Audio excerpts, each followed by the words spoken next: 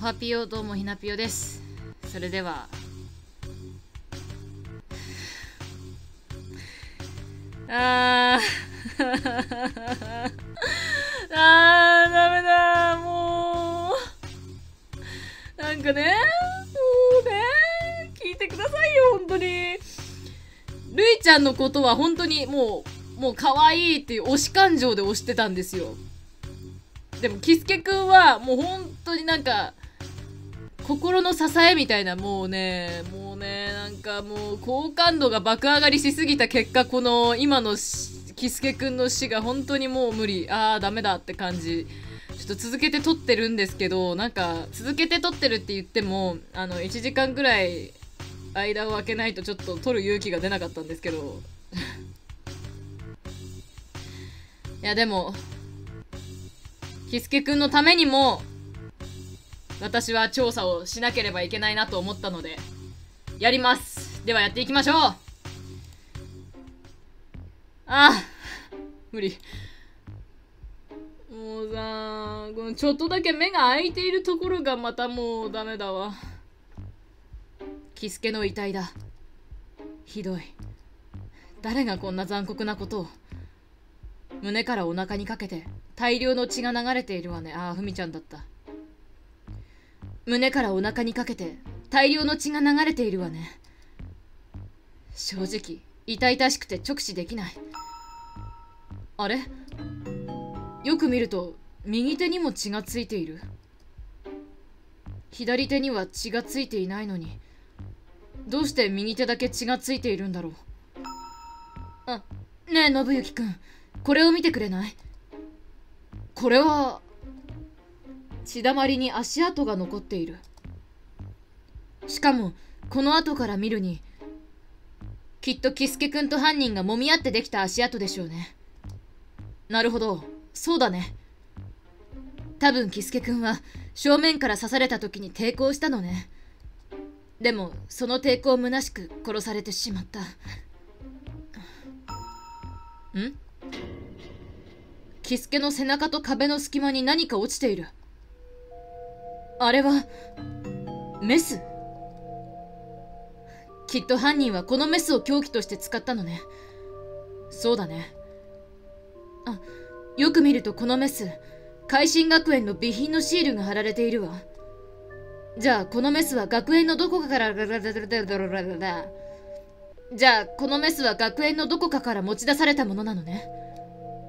メスなんて一体どこから犯行に使われたメス。血だまりの中の足跡。右手の血。ということは理科室ですね。理科室のこのこの辺のなんかメスとか備品とか書いてあったとこ解剖のやつだよね。これこれか？こっちか？これは解剖実験の道具が置かれている棚みたいね。あ解剖の道具といえばこの棚のどこかにメスがあるんじゃない？犯人はこのメスを使ってキスケを殺したのかも。そうね。確認してみましょう。ゴソゴソ。あこの箱って、メスが一本なくなっている。やっぱり。きっと犯人はここのメスを凶器に使ったのね。ということは犯人はメスを手に入れるためにここを一度訪れている。そうだね。あれ？どうかしたの？この床についてる汚れって何かしら？ん？なんだこれ？緑色の何かで汚れている。これは絵の具みたいね。絵の具？どうして理科準備室に絵の具が？盗まれた凶器。床に付着した絵の具。なるほど。緑色の絵の具が確かにこぼれていたいよね。でもその前にちょっとしんのすけくんにも話を聞くか。この大量の血。こんなの普通じゃねえ。犯人は相当クソ野郎だ。許せねえ。うん。私も許せない。うん。これは何？あこれはあれか。ああ。テンション上がんねえ。やべえ。じゃあこの緑色の絵の具。そうね。ってあれ？これってさっき理科準備室にあった絵の具と同じ色じゃない？た確かに。じゃあさっき理科準備室にあった汚れはこの絵の具。その可能性が高いかも。どう見ても同じ色だもの。あねえあれ見て。ん？誰かが絵の具を踏んだ跡があるわ。本当だ。じゃあこれで確実ね。理科準備室でメスを取った犯人は美術室にも訪れていたようね。そうだね。おそらく理科準備室でメスを取る前に美術室に来てこの絵の具を踏んでしまったんだ。ねえ信行くんもうすぐ1時間が経つわ。そろそろみんなのところに戻らないと。とりあえず他のみんなも何か見つけてるかもしれないし急いで教室に戻りましょう。オッケー。絵の具を踏んだ足跡。クリア。さてライフを4消費して次のパートに進みますか。消費して進む。それから数分後。なんだこのなんかチカチカしてるのは。どうした？ガラガラ。あれ？誰もいない。なんでこんななんか光ってんの？どうやら私たちが最初みたいね。みんなが戻ってくるのを待ちましょう。うん。ガラガラ。あルイちゃん！よかった！ルイあ二人とも。どうだった？何か見つかった？うーんと。めぼしいものは何も。そう。四郎くんとまちちゃんしんのすけくんはまだ来てないんだね。1時間経ったしもうそろそろ帰ってくるんじゃないかな。コツコツコツ。ほら足音が聞こえてきた。ガラガラ。誰？はあ。まちちゃんしんのすけくん無事だったんだね。なあシロくんがいないの？マジで？ああ。残るはシロだけか。それから数分後。ねえさすがに遅くない？もう1時間過ぎてるよね。少し心配ね。まさかあいつどこかで殺されてるなんてことないよな。まさかあいつどこかで殺されてることなんてないよな。そそれは。ガラガラ。ああよかったよかったお待たせしました。皆さん。よかった。生きてた。心配したんだぞシロすみません。すみません。つい探索に夢中になってしまいまして。まあとにかくみんな無事に集まったんだね。よかった。まだ犠牲者が出てなくて安心した。さ早速ですがこれからキスケ君を殺した犯人について話し合いをしましょうか。ええ。マチさん大丈夫？だ大丈夫なわけないよ。もしこれで犯人が私たちの中にいたって分かったら。私どうしていいかわからない。まちちゃん。私もこの中に犯人がいるなんて信じたくない。でもやるしかないんだよね。早く犯人を見つけないとまた誰かが殺されちゃうかもしれない。そうね。それにもしかすると私たちの他に犯人がいる可能性だってまだ残ってるんだから。そうだよね。うん。これからの話し合いで俺たちの中に犯人はいないってことを証明しよう。ああ。うん。えっとそれではまずは事件の流れから整理していきましょうか。まず私たちは何者かによって学園に連れてこられたのよね。ううん。私たちがバーにいたら突然眠らされて気づいたらこの学園にいたんだ。私たちは出口を探すために手分けして探索して回った。1階はまちさんとるいさんしんのすけくん。2階は私と信行くん。3階は四郎くんと喜助くんだったわね。しかし外につながる扉や窓もなぜか開かなくて外に出る方法はなかったんです。そして事件が起こったのよね。はい。3階の屋上前に喜助くんが血まみれで倒れていたんです。そして喜助が持っていた手紙にはこの中に犯人がいるって書かれていたんだ。一応これで流れは整理できたでしょうか。まあそんなところだろうな。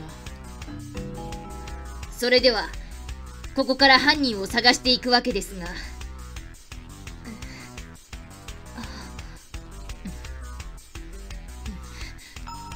なんだかみんなの空気が重たい。みんな誰もこの中に犯人がいるなんて思いたくないんだ。それは俺も同じ気持ちだ。ねえみんな。ちょっと聞いて。え？お互いを疑いたくないのはわかるわ。でもこれじゃ話し合いが先に進まない。今は少し気持ちを抑えて犯人を見つけ出すことだけに集中しましょう。ふみさん。そうだね。ごめん。謝らなくていいわ。みんなみんな友達同士なんだもの。仕方ないことよ。そうですね。えっとそれじゃあまずキスケくんの死因について話をしていきましょう。キスケくんの死因は多分失血によるショック死でしょう。胸からお腹にかけてすごい量の血が流れていたもんね。周りに血だまりができてたな遺体を調べるとキスケくんの体には複数の刺し傷があったわ。じゃじゃあ犯人が凶器に使ったのはもちろん刃物だよね。ええ。じゃあ犯人は一体何を凶器として使ったんだろう。解剖用のメス。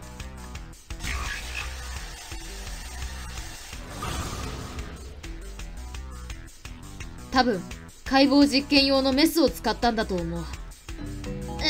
えメス？うん。キスケの遺体を確認している時にキスケの背中と壁の隙間にメスが落ちているのを見つけたんだ。そしてそのメスには学園の備品のシールが貼られていた。それってこのメスは理科準備室から持ち出したものだったんだそこにあったメスが1本だけなくなっていた。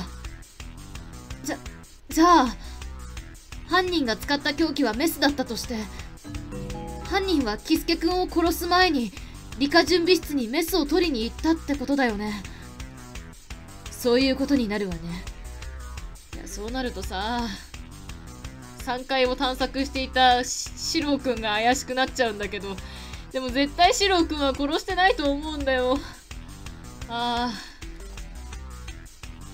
キスケ君が殺される前ってことは私たちがここに連れてこられた直後手分けして校舎を探索していた時ってことね。じゃあその間に理科準備室に行くことができた人物が今のところ犯人として怪しいってことだよね。そうね。じゃあそれが可能な人って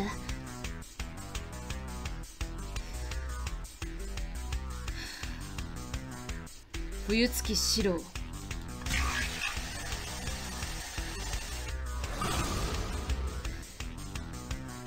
それってもしかして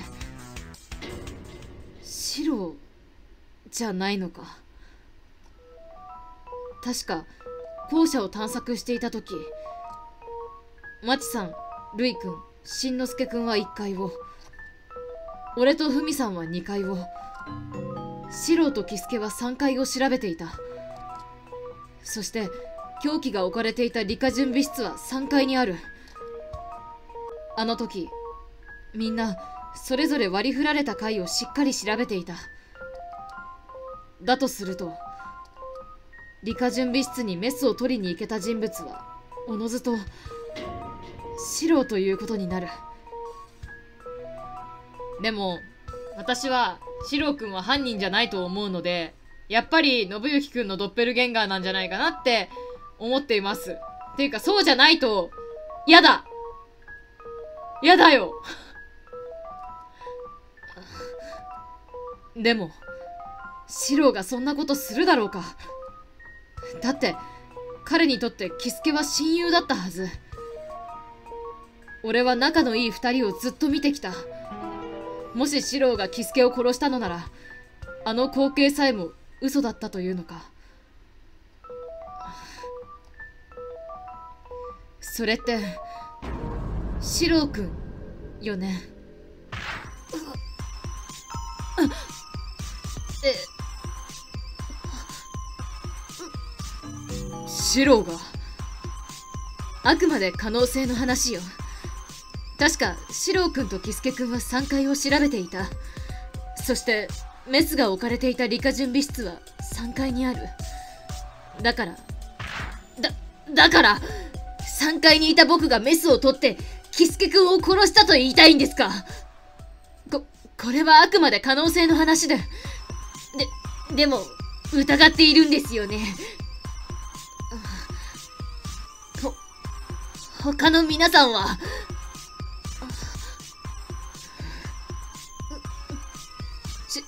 シロそんな。みんなまで僕を疑うんですか？なんでなんで僕から目をそらすんですか？なんとか言ってくださいよ。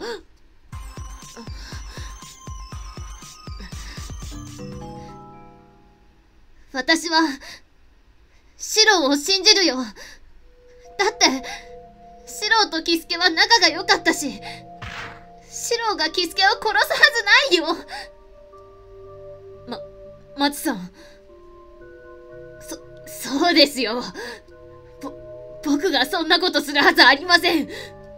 だから、理科準備室に行って、メスを取ったなんて事実は、ありません。ほ、ほら、シロもこう言ってるんだし、やっぱりシロンは犯人じゃないよ待って。え、シロくん。それを証明できるものは、ない？しょ、証明？どうしたのルイちゃん？シロンは理科準備室に行ってないって言ってるじゃん。だからきっと犯人じゃないんだよそれでいいじゃんめん。まちちゃん。シロくん。私シロくんを信じてないわけじゃないの。でもここではっきりさせておかないと。そうね。私もルイさんの意見に賛成よ。ふみちゃんまで。私もこの中にキスケ君を殺した犯人がいるなんて思いたくない。だからこそ。シロ君が犯人じゃないって確信を持ちたいの。だからお願い。シロ君君が理科準備室に行ってないということを証明して。しシロ証拠はあるよな。ええっとそれはありません。そんな。おいおい。証拠がねえなら信じようがねえだろで、でも、僕はキスケ君を殺してなんかいません。なんでですか？なんで僕が、キスケ君を殺さなければならないんですか？僕は、キスケ君の親友ですよ。親友を殺すなんて、そんなことできるわけないじゃないですか。そんなこと言われたってこんな状況じゃ信じたくても信じられないよ。ルイ君は僕が信じられないんですか？ごめん。僕はやってないって言ってるだろう。なんで信じてくれないんですか？証拠がないからに決まってるでしょ、ルイちゃん。落ち着け二人とも。ここで喧嘩して何になるの？なんだよ。何なんだよこれ。今まであんなに仲が良かったはずなのに。一緒に笑って楽しんで。みんなで一つになれた気がしていたのに。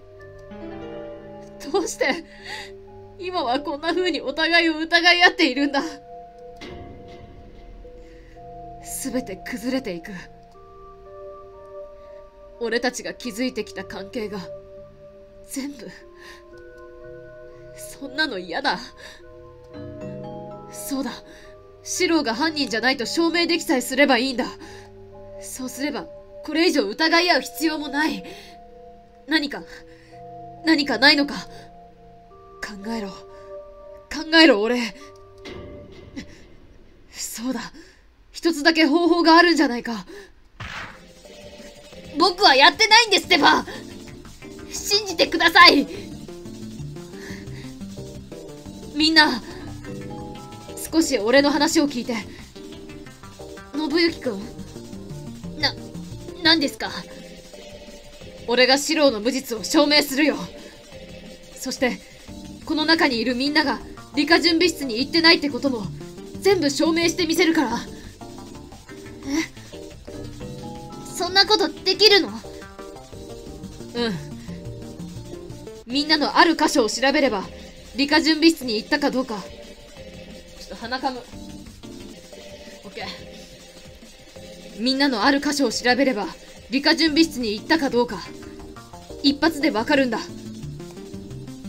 私たちのある箇所って一体？アリバイを確認する。靴の裏を確認する。指紋を確認する。靴の裏を確認する。よし。みんなの靴の裏を見せてほしい。靴の裏？一体どうして？しこの中に理科準備室に行った人がいるとすれば靴の裏にある証拠が残っているはずなんだ。そうだよねふみさん。そうか。靴の裏を確認すればあれの跡が。あれの跡？ええ。私たちが理科準備室でメスがなくなっているのを確認した時他にも緑色の絵の具が床に付着しているのを見つけたの緑色の絵の具。そして美術室を確認したらその理科準備室の絵の具と同じ色の絵の具が大量にこぼれていた。さらにそこには誰かが絵の具を踏んだ足跡が残っていたの。じゃじゃあということは靴の裏にその絵の具がついている人が理科準備室に行った人物ということになる。みんな正直に見せて。これでみんなが理科準備室に行ってないことを証明できるから。別に構わねえけど。ううん。だしまちちゃんはローラースケートだから絶対にないと思う。いいよ。わ分かりました。大丈夫。絶対に大丈夫だ。この中にキスケを殺した殺人鬼はいない。だから靴の裏に絵の具がついている人なんてだから靴の裏に絵の具がついている人なんてこの中にいるはずなんてない。そして俺はみんなの靴の裏を一人一人確認していった。まずはしんのすけくん。ほらよ。ついてないわね。俺はやってねえから当たり前だけどな。次にるいくん。はい。ついてないわね。次にまちさん。どどう？まちさんも大丈夫。ううん。最後にシロははい。ここで四郎に絵の具がついていなければ四郎の無実は